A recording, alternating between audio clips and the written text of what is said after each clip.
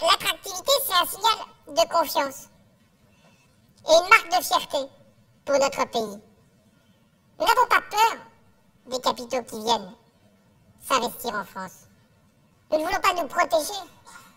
Nous n'avons pas une conception qui serait étriquée de notre intérêt national. Nous considérons même que euh, la mobilité des investissements, investissement France à l'étranger, investissement étranger en France, ça fait partie de la réussite d'un pays.